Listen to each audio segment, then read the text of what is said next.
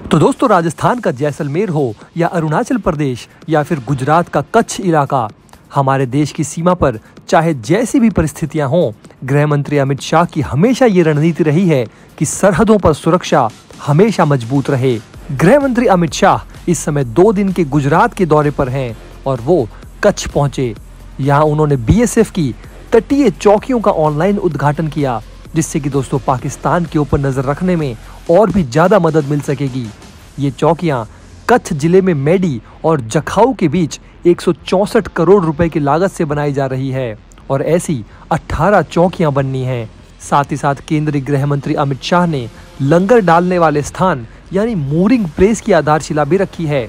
इसके तैयार होने से बीएसएफ को भारत पाकिस्तान सीमा पर करीब साढ़े चार सौ जहाजों और विशेष भौगोलिक क्षेत्र की वजह से तैरने वाली सीमा चौकियों के संचालन में सहायता मिलेगी। इसे दो सौ सत्तावन करोड़ रुपए की लागत से तैयार किया जा रहा है। कच्छ में अमित शाह ने अलग अलग परियोजनाओं का वर्चुअल उद्घाटन किया। इसके बाद उन्होंने भारतीय चौकी हरामी नाला के पास भारत पाकिस्तान सीमा का दौरा भी किया।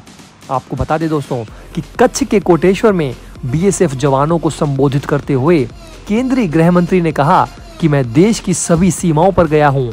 मैं आपके दोस्तों से मिला हूँ। देश के गृह मंत्री होने के नाते देश की सुरक्षा पर सवाल है। आप सीमा पर तैनात हैं, इसलिए हम चैन से सो पाते हैं। सीमाओं पर जवानों को भीषण ठंड, गर्मी, बारिश, हर मौसम की भी मार झेलनी पड़ती है।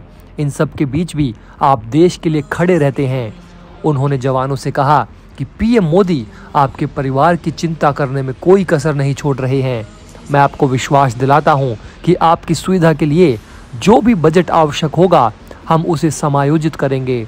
इसके बाद कच्छ के पलारा जेल के कैदियों के साथ आज़ादी के अमृत महोत्सव के अवसर पर हो रहे एक समारोह में भी वो शामिल हुए। तो दोस्तों पूरा क्षेत्र भारत के लिए स्ट्रेटेजिकली बहुत ज़्यादा इम्पोर्टेंट है। सामरिक दृष्टि से ये क्षेत्र सर क्रीक के नाम से मशहूर है, जहाँ करीब 22 किलोमीटर हरामी नाला भी मौजूद है। जो अपने नाम और परिस्थितियों के चलते कुख्यात है। सुरक्षा बलों की सुविधा के लिए जिस लंगर डालने वाले स्थान का भूमि पूजन अमित शाह ने किया है, उसमें इस क्षेत्र में सुरक्षा बलों के सामने खड़ी होने वाली सभी तरह की चुनौतियों को देखते हुए उनकी खास जरूरतों का ख्याल रखा जाना है। लेकिन दोस्तों, अब आप ये सोच रहे होंगे कि हरामी नाला क्या है और इसका ऐसा नाम क्यों पड़ा? तो दोस्तों, आपको बता दें कि गृह मंत्री अमित शाह ने इस कार्यक्रम के दौरान हरामी नाला के किनारे ग्यारह नंबर पिलर पर एक आउटपोस्ट टावर का भी उद्घाटन किया। सीधे शब्दों में कहें तो हरामी नाला कच्छ के रण में स्थित लगभग 22 किलोमीटर लंबा एक ज्वरीय चैनल है। यानी कि यहाँ ज्वार भाटा, यानी कि हाई टाइड्स आती हैं। ये हाई टाइड्स चैनल भारत और पाकिस्तान को विभाजित करता है।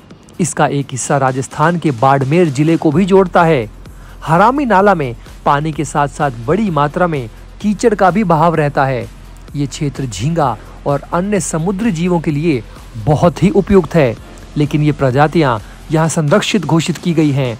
लेकिन दुर्गम क्षेत्र होने की वजह से इन्हें गैर कानूनी तरीके से पकड़ने का गोरख धंधा भी यहाँ खूब होता है। ये दुर्गम है, इसलिए मौसम के साथ इस नाले का जल स्तर और इसकी धारा निरंतर बदलते रहते हैं। अगर नेचुरली देखें तो ये ज्वारीय चैनल इतना दुरू है और इस तरह से अपना स्वरूप बदलता रहता है। जिसका आकलन कर पाना बहुत ही मुश्किल है। यानी कि दोस्तों, सूखे के समय पे तो नाला पूरी तरह से सूख जाता है, लेकिन दोस्तों, मानसून में जब बारिश का मौसम आता है तो ये पूरे क्षेत्र में तबाही लेकर आता है। इसमें इसका जो वाटर लेवल है, वो इतना ज़्यादा बढ़ जाता है कि हमारे जवानों को भी यहाँ पर गश्त करने में बहुत दिक्कत होती है, और अब तक हमारे कई जवान यहाँ पर अपनी जान गंवा चुके हैं। इसलिए इसका नाम हरामी नाला रख दिया गया है। इसके साथ साथ ये पाकिस्तान से आने वाले घुसपैठियों के लिए भी एक काफ़ी माकूल जगह है। भारत में घुसपैठ के लिए आतंकवादी और असामाजिक तत्वों ने कई बार इसका गलत इस्तेमाल किया है। अक्सर गैर कानूनी तरीके से मछली पकड़ने की वजह से इस इलाके से पाकिस्तानी मछुआरे पकड़े जाते रहे हैं। कई बार यहाँ से संदिग्ध और लावारिस पाकिस्तानी बोट भी बरामद की गई हैं। इन सब वजहों से हरामी नाला भारत की सुरक्षा के लिए गंभीर चुनौती रहा है। 26 नवंबर 2008 को मुंबई पर हमला करने वाला पाकिस्तानी आतंकवादी अजमल कसाब और उसके नौ साथी भी हरामी नाला से होकर ही भारत को दहलाने आए थे। एक और वजह है कि हरामी नाला भारत के लिए बहुत बड़ी सुरक्षा चुनौती रहा है। ये मुंबई और गुजरात के तटवर्ती इलाकों के पास है। पाकिस्तान की ओर से इसका दुरुपयोग किया जाता रहा है, जबकि हरामी नाला से होकर भारत की तरफ़ से पाकिस्तान की ओर जाना बहुत ही मुश्किल है। इन सब वजहों से इस क्षेत्र ने हरामी नाला का नाम पा लिया है। विशेष भौगोलिक बाधाओं के बावजूद इसकी सामरिक अहमियत को समझते हुए सुरक्षा बलों के जवान यहाँ अपनी मुस्तैदी से रत्ती भर भी समझौता नहीं करते हैं। अब हरामी नाला की निगरानी के लिए जो साढ़े नौ मीटर ऊँचा आउटपोस्ट बना है, उस पर अत्याधुनिक कैमरे लगाए गए हैं। ये सीमा पर होने वाली विपरीत गतिविधियों पर बहुत ही पैनी नज़र रख पाने में सक्षम है। इस सीमा पर ऐसे सात आउटपोस्ट की दरकार बताई जाती रही है। जिस मूरिंग प्लेस यानी कि लंगरगाह की नींव, अमित शाह ने रखी है, ये मूरिंग प्लेस 400 से अधिक जलीय वाहन और पाकिस्तान के साथ तटीय सीमा के पास बीएसएफ द्वारा संचालित चौकियों की फ्लोटिंग बीओपी यानी बॉर्डर आउटपोस्ट की सर्विस और रखरखाव में मदद करेगा। कोटेश्वर में 60 एकड़ में फैले मूरिंग प्लेस के भूमि पूजन के बाद अमित शाह ने कहा कि एक बार ये तैयार हो जाने के बाद बीएसएफ की समुद्री टुकड़ी द्वारा उपयोग की जाने वाली नौकाओं को सीमा क्षेत्र में आसानी से बनाए रखा जा सकता है। आपके पास 400 से अधिक पानी के जहाज़ हैं और ये सुविधा उन्हें अच्छी स्थिति में रखने में मदद करेगी। इस लंगरगाह में प्रशासनिक भवन, officers mess, canteen, parade ground, प्रशिक्षण केंद्र और सर क्रीक में बीएसएफ द्वारा संचालित वाटरक्राफ्ट और फ्लोटिंग बीओपी के लिए एक वर्कशॉप शामिल होगी। प्रत्येक फ्लोटिंग बीओपी लगभग 30 कर्मियों और कई निगरानी उपकरण से लैस की जा सकती है। केंद्र सरकार के सीपीडब्ल्यूडी विभाग के इंजीनियर अजय अग्रवाल ने बताया कि 60 एकड़ ज़मीन पर दो साल में काम पूरा होने की उम्मीद है।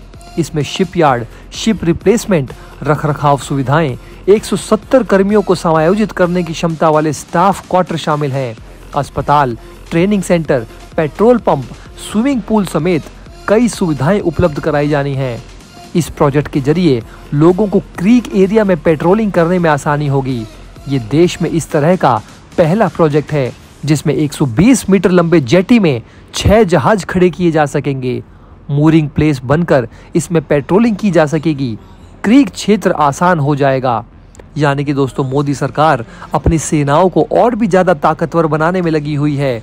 और भारत की सुरक्षा जरूरतों को देखते हुए लगातार उसमें डेवलपमेंट करती जा रही है, जिससे कि दोस्तों पाकिस्तान और यहाँ तक कि चीन भी आगे आने वाले समय में भारत के ऊपर नज़र उठाकर ना देख सकें और भारतीय सेनाएँ उन्हें मुँह तोड़ जवाब दे सकें। इस पूरे वीडियो के बारे में दोस्तों आपकी क्या राय है, हमें नीचे कमेंट बॉक्स में लिखकर ज़रूर बताइए। मिलते हैं दोस्तों आपसे अगले वीडियो में। वीडियो को लाइक और चैनल को सब्सक्राइब ज़रूर करें। जय हिंद।